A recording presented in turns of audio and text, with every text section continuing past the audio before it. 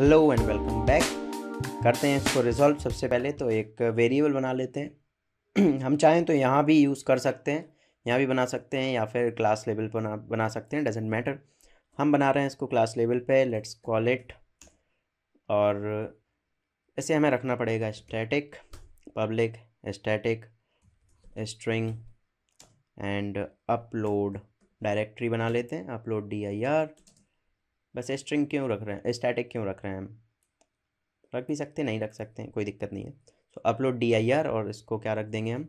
System system नाम की एक क्लास होती है यूटी यूटिलिटी क्लास जो कि हेल्प करती है हमें सिस्टम लेवल कुछ काम करने में, जैसे कि इसकी एक मेथड है, जो कि है गेट प्रॉपर्टी और ये हमें वेरियस प्रॉपर्टीज़ ला के देती है। जैसे इस केस में हमें क्या ला के देने वाला है? हम जो इसको की दे रहे हैं, वो है user dot D I R तो ये की आपको कहाँ मिलेंगी भाई? बहुत आसान है।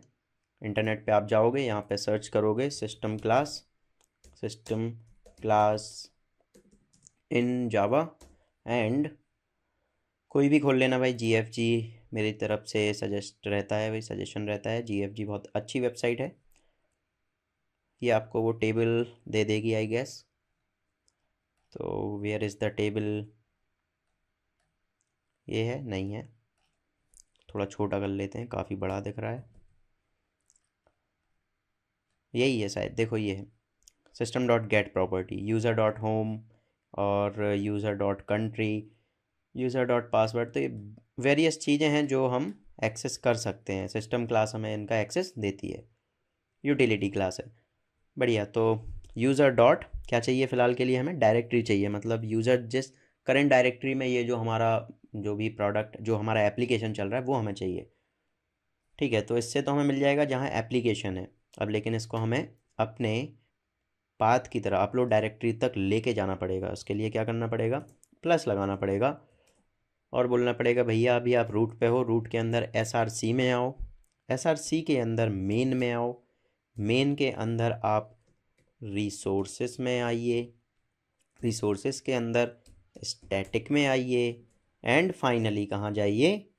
प्रोडक्ट इमेजेस पे जाइए राइट सो प्रोडक्ट इमेजेस तो ये रहा हमारा इफ़ेक्टिव पाथ जो रहने वाला है, क्योंकि आप देख सकते हो कि जब आप ये बोलते हो user dot D I R तो ये हमें यहाँ पे धकेल देता है रूट फोल्डर पे। रूट रूट कौन हो गया? ये हो गया रूट ठीक है? रूट के अंदर हमें कहाँ जाना? S R C S R C के अंदर मेन मेन के अंदर रिसोर्सेस रिसोर्सेस के अंदर स्टैटिक स्टैटिक के अंदर फाइनली प्रोडक्ट इमेजेस इस फोल्डर में हमें इमेजेस रखनी है। सो so, ये रहा हमारा अफेक्टिव पाथ और हम एक बार सर्वर को स्टॉप करके रीरन करते हैं। तब तक मैं इसको एक्सपेंड कर लेता हूँ।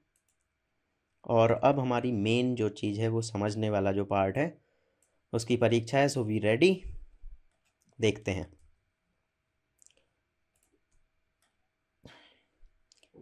चंद सेकंड और। आप चाहो तो दस सेकंड फॉरवर्ड मार सकते हो वीडियो को। वैसे ये सही होता है। आपके पास एक्सेस होता है आगे पीछे बढ़ाने का। वीडियो देखते टाइम क्लास में ऐसा नहीं होता है, भाई देखना ही पड़ता है, ये बोरिंग सी चीज़। चलो रन हो गया। चलते हैं यहाँ पे and let's reload it reload नहीं करेंगे, दोबारा से खोल लेंगे। लोकल होस्ट स्लैश एडमिन इसके बाद जाएँगे हम प्रोडक्ट्स पे। ऐड प्रोडक्ट्स ऐड प्रोडक्ट एक ही प्रोडक्ट कर रहे हैं हम तो केक इसका नाम है एंड केक कैटेगरी है नाइस फोर फिफ्टी रुपीज़ का है। वाई द यहाँ पे सब जगह ये फ़ील्ड का वेरिएशन वो लगा हुआ है वैलिडेशन ठीक है? तो हम कोई भी फ़ील्ड खाली नहीं छोड़ सकते। S T M L simple S T M L validation मैंने यूज़ किया है फाइव हंड्रेड ग्राम्स का ये होगा। और ये है एक शानदार केक फ़ाइल फ़ाइल ले लेते हैं। And file file file downloads में जाओ। ये रहे केक के फ़ोटो एक केक ले लिया, करते हैं सबमिट और let the real game begin तो अपलोड तो शायद हो गई है, लेकिन दिख क्यों नहीं रही है? ये एक मसला हो सकता है आई डोंट नो वाई ये क्यों हो रहा है। ओके चल के देखते हैं, ज़रा अपनी डायरेक्टरी में पहुँची फ़ाइल या नहीं पहुँची। अगर पहुँच गई तो सब कुछ सही है, क्योंकि भाई वाइट लेवल तो आया नहीं तो लगभग सब कुछ सही लग रहा है मुझे तो। और हम देख रहे हैं, यहाँ पे देखो एरो आने लगा है। और एरो के अंदर फ़ाइल भी आ रही है। तो फ़ाइल सिस्टम से जाके देखते हैं, क्या ये वहाँ पर है? तो डेस्कटॉप पे मैंने मेजर क्रिएट किया था। मेजर के अंदर S R C S R C के अंदर मेन मेन के अंदर resources static products images and we have this बढ़िया। है तो लेकिन दिख नहीं रही है। पता नहीं क्यों। मे बी रिफ़्रेश करने पे दिखे। ओके ठीक है। नेटवर्क इशू हो सकता है शायद। तो कुछ प्रॉब्लम है। लेकिन इमेज फाइनली पहुँच गई है। और ये अच्छा है। बढ़िया है ये। बेहतरीन है। करते हैं इसको। अपडेट जो कि रियल डील होने वाली है। ओके सो अपडेट पे मैंने क्लिक किया एंड दैट्स नाइस क्योंकि हमने इसका राउट नहीं बनाया। ओके सो अपडेट बाद में समझते हैं। पहले ये समझते हैं कि ये खेल कैसे हो रहा है और प्रोडक्ट ऐड कैसे हो रहा है। चलते हैं हम कहाँ पे? ऐड प्रोडक्ट वाले राउट पे। तो ये रहा हमारा ऐड प्रोडक्ट वाला राउट समझ लेते हैं हम रिटर्न क्या करा रहे थे। जब इस पर गेट रिक्वेस्ट आ रही थी। हम यहाँ से रिटर्न करा रहे थे भाई एक खाली प्रोडक्ट डीटीओ ब्लैंक राइट नया बनाया था हमने। तो एक प्रोडक्ट डीटीओ का ऑब्जेक्ट और जितने भी हमारे पास कैटेगरीज थे हमारे डेटाबेस में, वो रिट्रीव करके हमने एक लिस्ट में वो भर के भेज दिए। ठीक है भाई? चलते हैं इसके व्यू पे। तो इसका व्यू कौन सा है? इसका व्यू है ये वाला। ऊपर से फिर से हम एक बार इसको समझने की कोशिश करते हैं। ये रही हमारी हेडिंग हेडिंग के नीचे फॉर्म फॉर्म कहाँ पॉइंट कर रहा है? ऐड प्रोडक्ट स्लैश एड पे। बढ़िया। यहाँ तक हमें समझ आया। इसके बाद यहाँ से जो ऑब्जेक्ट जनरेट हो रहा है, वो कौन सा होगा? Product D T O product D T O generate हो जाएगा, कोई दिक्कत नहीं। अब आपको यहाँ पे ध्यान देने वाली बात जो है, वो है एनक्रिप्शन टाइप तो अभी तक हमने ये अपने फॉर्म्स में यूज़ नहीं किया था, हमने कैटेगरी वाले में यूज़ नहीं किया था। लेकिन हमें प्रोडक्ट वाले में यूज़ करना पड़ रहा है। Why because we are sending a image a image नहीं an image an image okay an image तो हम यहाँ से एक फ़ाइल भेज रहे हैं और जब भी आप फ़ाइल से डील करते हो with the help of forms then you have to type this thing at this attribute encryption type multipart form data ठीक है? तो ये पहली रिक्वायरमेंट रिक्वायरमेंट होती है जब आप फाइल्स भेज रहे हो थ्रो फॉर्म्स ठीक है? और ये आपकी जो फाइल्स हैं, वो आपके एक्चुअल ऑब्जेक्ट में नहीं जाती हैं रिक्वेस्ट पैरामीटर्स में जाती हैं राइट आगे बढ़ते हैं। यहाँ पे हमारे पास हिडन है। ये हमारी ओरिजिनल आईडी है। इससे हमें कुछ खास फ़र्क पड़ना नहीं चाहिए। और डेटाबेस भी दिखा देता हूँ। तो डेटाबेस पे चलते हैं। खोल लेते हैं हम यहाँ पे H two console localhost slash H two console connect and आप देख सकते हो प्रोडक्ट आ गया है रन करते हैं। तो बढ़िया आईडी से हमें कोई फ़र्क पड़ता नहीं है। ये एक शानदार केक है डिस्क्रिप्शन इमेज नेम क्या है? डाउनलोड थ्री ठीक है, बढ़िया नाम पहुँचा, सही से पहुँचा। नाम क्या है इसका? केक है, और प्राइस क्या है? चार सौ पचास है वेट क्या है, पाँच सौ है एंड कैटेगरी आईडी तो बढ़िया, हमारे पास क्या है? कैटेगरी आईडी है। हमने भेजा क्या था? पूरा का पूरा कैटेगरी का ऑब्जेक्ट भेजा था, लेकिन ये कैसे हो रहा है बिहाइंड द सीन तो ये हमारी जेपीए हेल्प कर रहा है। हमने मैपिंग किसकी की थी? एक कॉलम की की थी, जिसका नाम क्या है? कैटेगरी आईडी तो हम अगर कैटेगरी को रन करते हैं कैटेगरी टेबल को अगर रन करते हैं देन आप देख सकते हो कि थर्टी थ्री आई पे कौन होगा?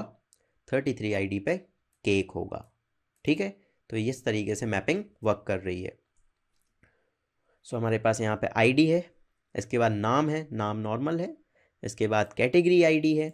तो कैटेगरी आईडी का फंडा पिछली वीडियो में आपको समझा चुका था कि कैसे वो यहाँ पे शो हो रही थी। कहाँ पर? एक बार फिर से दिखा देता हूँ। कहाँ गया ब्राउज़र ये रहा। तो जब हम यहाँ पे क्लिक कर रहे हैं तो आप देख पा रहे हो यहाँ पे दो कैटेगरीज दिख रही हैं। अगर मान लेते हैं हम एक कैटेगरी और ऐड कर देते हैं, फिर क्या होगा? तो वहाँ पे तीन कैटेगरी देखेंगे, सिंपल है। देखते हैं, चलो।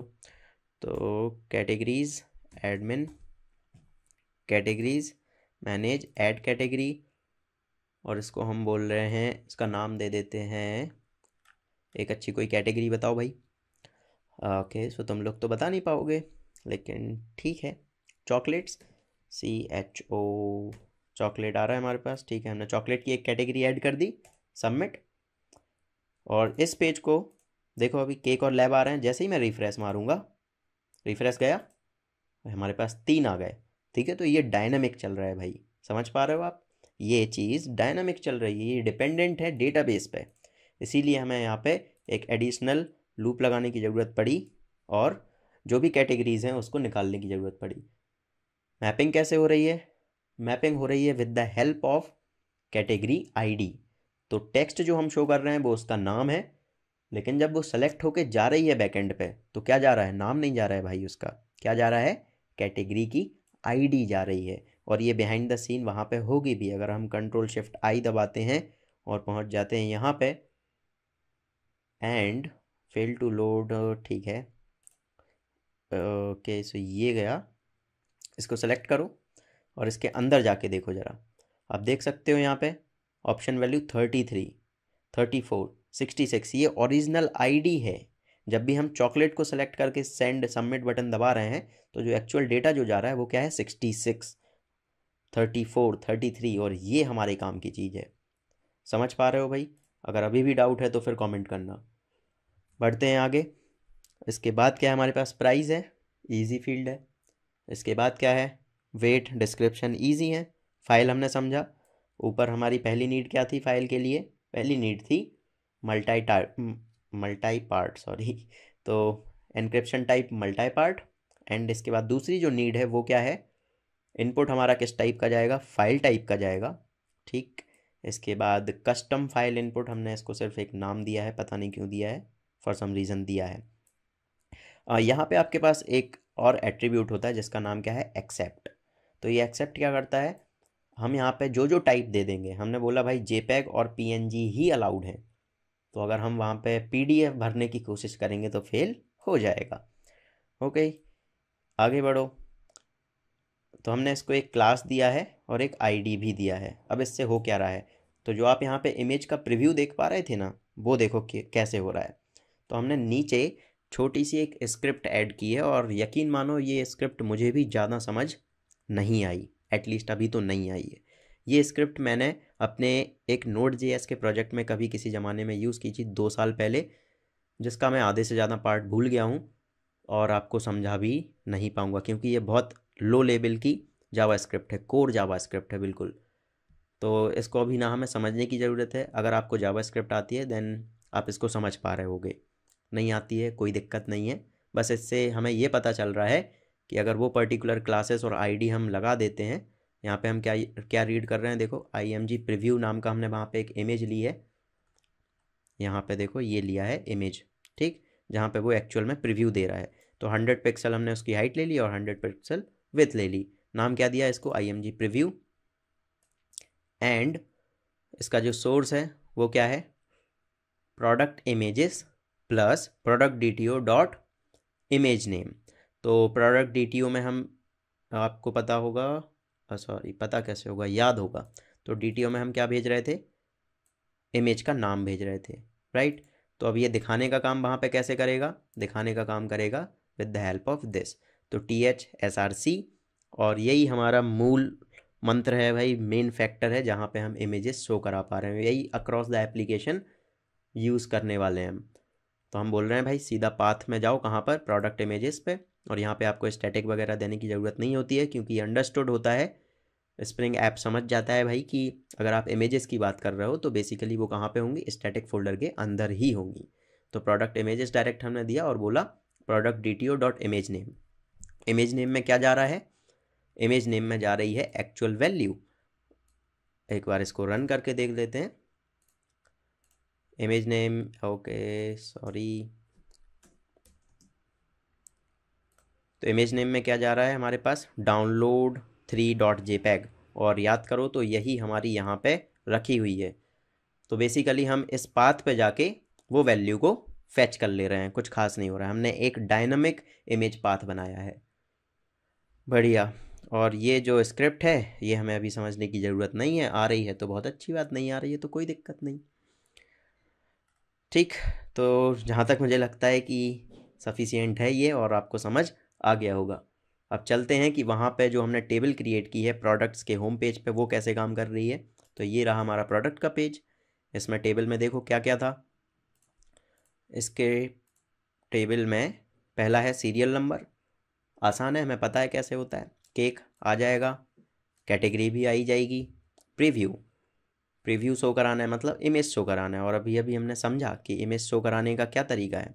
देखो, ये रहा वो टेबल सॉरी, ये रही वो टेबल टेबल में columns S N product name, category, preview, delete, update तो एक, दो, तीन, चार और पाँच आपके लिए पुराने होंगे, कैटेगरीज़ में भी हमने यही किया था लगभग। मेन क्या है? प्रीव्यू।